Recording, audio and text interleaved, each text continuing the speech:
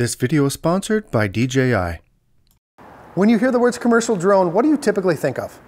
I think most people will go right to the Matrice series, maybe the M300, or some people think of the Phantom 4 Pro Advanced. Now those drones have been the workhorses of the DJI Enterprise lineup for years, and they've been very successful, and they're still of great use today. But times are changing, and the professionals of today are changing as well. I think a lot of them are looking for three things, portability, efficiency, and ease of use. So allow me to introduce you to the newest addition to the DJI Enterprise lineup, the Mavic 3 Enterprise.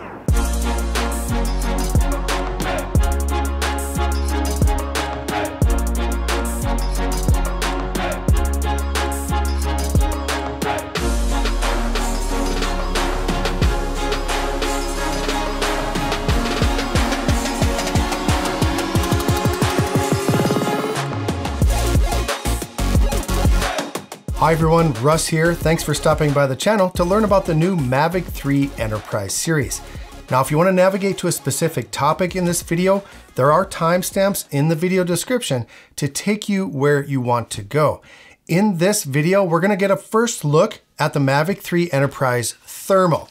Now, I should tell you there are two versions. One is the Mavic 3 Enterprise, or M3E, and the other, which I have here, is the Mavic 3 Thermal, or we're going to call it the M3T. Now I'll also compare it to the Mavic 2 Enterprise Advanced today. I'll show you the flight performance and the camera system of the M3T, and we'll take a quick look at the software, the Pilot 2 app on the RC Pro Enterprise controller. The Mavic 3 Enterprise series is the perfect marriage of convenience and performance, allowing today's everyday commercial drone pilot the opportunity to offer a variety of commercial aerial services and to do them quickly and efficiently. No longer do you need to be an employee of a large UAV operation or spend five figures on a capable commercial drone to be a professional drone pilot today. Plus, public safety organizations no longer need to pay exorbitant fees to service providers. For the price of a single search and rescue mission, they can have their very own drone that does everything they need it to. There it is. Holy smokes. That one's a lot smaller than the last one you brought over here. Yep, it is. So this is like a smaller, kind of a smaller version of the, the M30. It doesn't have quite all the capabilities that I showed you on that one, but yeah, it's pretty cool. And then you can put all the uh, different attachments on top. So it's got a variety of attachments that are going to be coming. So it's got the loudspeaker. So say you got a lost kid, you can let the kid know that you found them and to stay put or whatever. So so that's pretty cool. And then you can have a spotlight, you can have all sorts of different attachments to put on top of it. So definitely an advancement over the Mavic 2 Enterprise Advanced. Remember I showed yep, you that yep. one last year? Yep. Um, so it's a step up from that one. Um, so yeah. Yep. And I think that's probably what we would be looking at. Yeah, it's more reasonable for you. It's, I think this drone is going to make it the technology more accessible for departments like yours. You know, most departments aren't going to spend 14, 15 grand on a drone, but they'll spend half of that on a drone. Absolutely. So, yeah. So I could probably fit that in my budget. Yeah, absolutely. So that's pretty cool. With its affordable price point, feature set, and portability, this drone is going to open up so many possibilities for smaller public safety teams like this one. Now, I'll get to the price point here in just a minute. I know you're waiting to hear it, but I will tell you one thing you're going to be really, really surprised. The M3T is a foldable quadcopter that weighs 920 grams or just over two pounds. It can fly up to 19 meters per second or 43 miles per hour, but I actually got it up to 47 miles per hour, and it's advertised to handle a 26 mile per hour wind. But it can handle much more than that. So one way that I like to check the wind tolerance of a drone is to see how it does with return to home. So right now I have the M3T at about 233 altitude. Let's check the wind. So right now we got 23 miles per hour sustained winds and 33 mile per hour gusts. So we're gonna hit the return to home button and see how it does.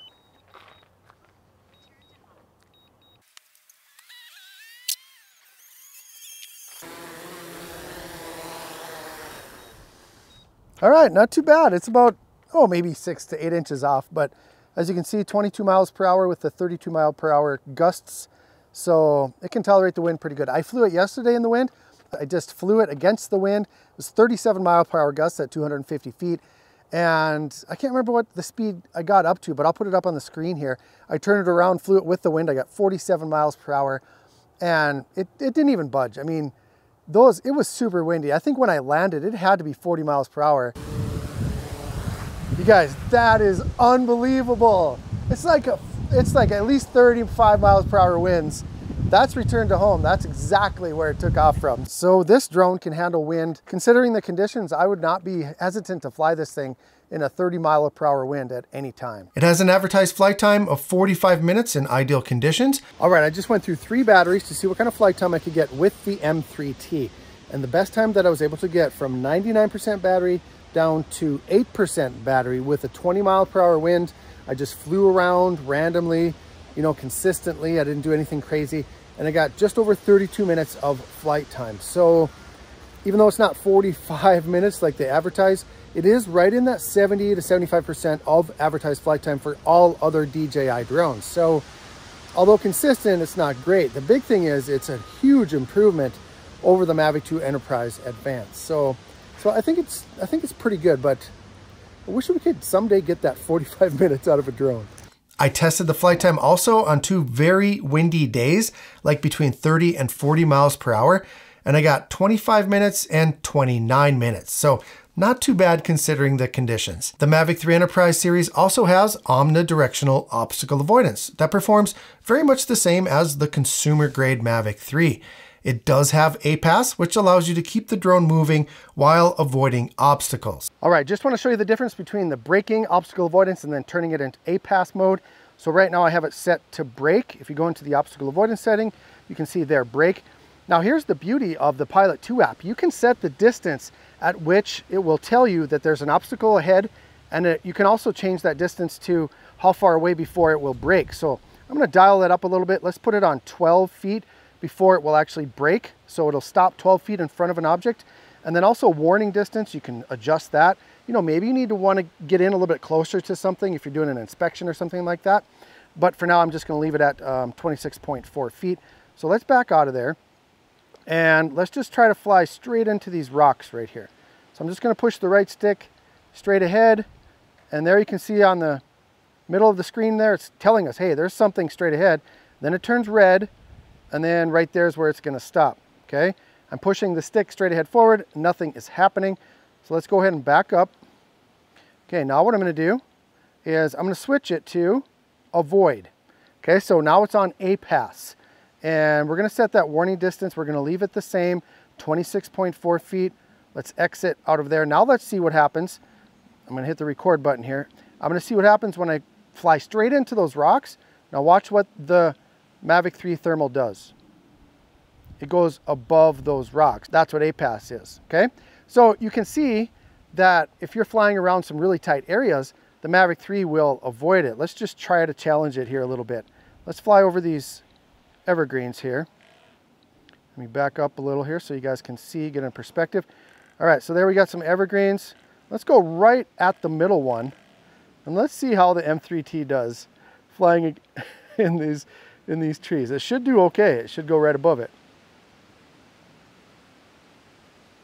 Okay, it gets really, really close. Really raises my blood pressure, but it did work. So that's how the APAS system works. When the Mavic 3 was released last year, people were so excited to see that it had two cameras, a wide angle and a telezoom. Well, the M3T goes one step further and it adds a thermal camera three cameras on a drone that can literally fit in the palm of your hand. So here you're looking at the wide angle camera view. This camera has a half inch CMOS sensor that shoots 48 megapixel photos and records up to 4K 30 video. It has 84 degrees field of view and a fixed aperture of f2.8. Now, this camera is not meant for capturing stunning landscapes or creating engaging content. It is designed for specific commercial work for today's inspection professionals and public safety teams. Now, if you want a camera for doing things like surveying or mapping or high resolution photos, then I would take a look at the Mavic 3 Enterprise, the one that comes without the thermal camera. So the zoom camera or the telecamera is a 58x hybrid zoom camera that also has a half inch sensor and it captures 12 megapixel photos and records 4K 30 video. It has a field of view of 15 degrees and a fixed aperture of f4.4. Honestly, I think this will be the most utilized camera on this drone because it's just so useful for getting up close and personal without putting your drone at risk or without disturbing people or animals in the area that you may be surveying. The zoom on the camera is so impressive. Let me just show you here. So right now it's got no zoom on it. It's got a 1X and you can zoom by either using the slider with your thumb over here on the right hand side or you can just tap on the plus and the minus. So let's tap, that's gonna give us a 2X. We're gonna zoom in onto the um, soccer game right now. There is 4X, there's 7X, and that's a great view of great soccer team right there. There's 14X, Okay, as I was editing this video and I was looking at that footage from the soccer field and I was looking at the zoom camera, I'm like, you know what, that looks really grainy. It does not look good at all. And that's because earlier in the day I was shooting in manual mode and of course the ISO was super high, so it was really grainy. So I wanted to show you guys what the zoom camera looks like when it's actually looking good. So here I'm shooting in auto mode, I zoom into 2x and there's a four times zoom, seven times zoom, 14x. I think this looks wonderful for a 14x zoom. Uh, and then zoom it into 28x, and then it's starting to break apart. Then it's really getting a little bit muddled. There I did a little wave so you could see me. And then uh, zoom it into 56.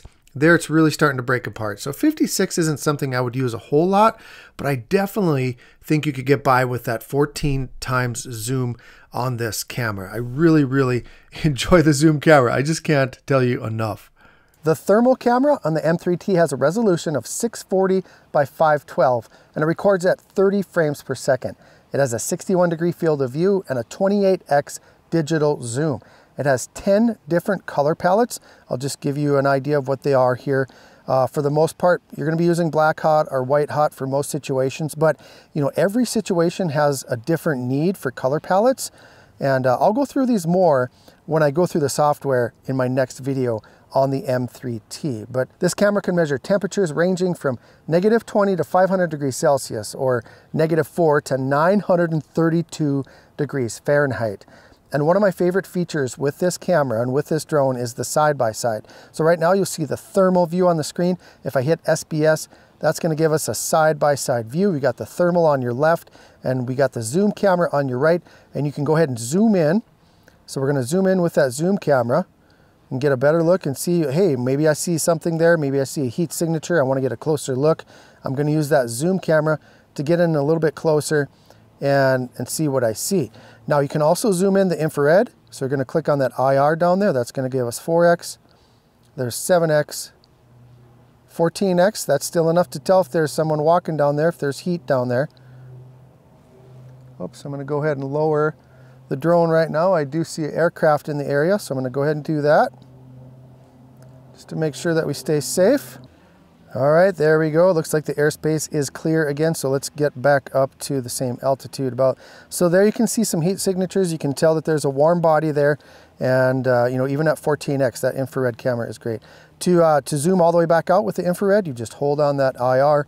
That's gonna bring you back out. So so yeah, I love the side-by-side. -side. I think that's so useful and it can be really critical for like search and rescue or maybe for law enforcement or someone like that.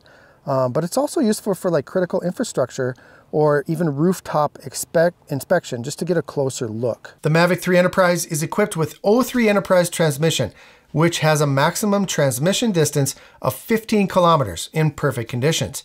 Now, you'll never see a range test on this channel, but I can assure you that the signal transmission strength performs well beyond what is necessary for most commercial applications. In April of 2021, the Mavic 2 Enterprise Advanced was released, and it is still a very capable solution for small commercial operators or public safety organizations.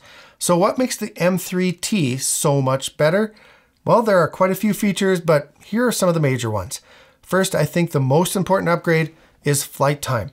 14 minutes more advertised flight time. That's 50% more. And having that extended flight time is critical, especially in a search and rescue scenario. Next, and probably most obvious, is a triple camera system instead of just two. The wide angle, the telelens, and the thermal camera provide opportunities to do much more. For the individual commercial drone pilot, this multi-camera system means that they can offer a wider variety of services and grow their business. Next is the global navigation system. The M2EA has just GPS and GLONASS, while the Mavic 3 Enterprise uses GPS, Galileo, and Beidou. Plus, with the RTK module, it adds that fourth system of GLONASS. More stable, more accurate, and that's key for so many use cases. Next, moving from OcuSync 2.0 to O3 Enterprise transmission, the best way that I can describe it, the difference is like going from dial-up internet to 1 gig fiber optic. No more lost signals, which is crucial for pretty much any commercial application. Do those of you under 30 years old even know what the words dial-up mean? and finally, the charging time. It takes 90 minutes to charge the Mavic 2 Enterprise Advanced 3850 milliamp hour battery. With the 100 watt DJI charger, you can charge the Mavic 3 Enterprise 5500 milliamp hour battery to 90% in just 47 minutes and fully charge it in 69 minutes. Also, you can charge both the drone and the RC Pro Enterprise controller at the same time with that 100 watt charger. Again, time is critical and the faster you can charge the batteries, the better. The RC Pro Enterprise controller has a 1000 nit brightness screen that has a three hour battery life. It can be used in temperatures from 14 to 104 degrees Fahrenheit. It has 64 gigs of internal memory and a micro SD card slot for expansion and a mini HDMI port. The Pilot 2 app is so powerful and intuitive, it's easily navigated, and it gives you all of the important information you need right on the screen. Commercial aerial services are advancing, and the best part is that the technology is advancing in a way that allows individual pilots and smaller teams to compete with the larger corporations. Drones like the Mavic 3 Enterprise series are the future, due to the fact that there is much lower overhead and incredible mobility and efficiency. Now, if you want to learn more about the Mavic 3 Enterprise series, there will be a link in the video description. Oh, and I bet you thought I forgot. What is the pricing of these new Enterprise drones and all of the accessories? I'll put them right up here on the screen. I don't know about you, but I am really surprised at these price points. I thought they would be much higher. It's just another sign that DJI is really targeting smaller providers, and that makes me very excited. So hit the like button, that thumbs up button if you got anything of value today. I really do appreciate that. Also, I appreciate you being here and watching this video because I know that you have a lot of choices when you watch your videos. So thank you so much. If you do enjoy my content, consider subscribing. Have a wonderful day, and as always, fly safe and fly smart. Get a little closer.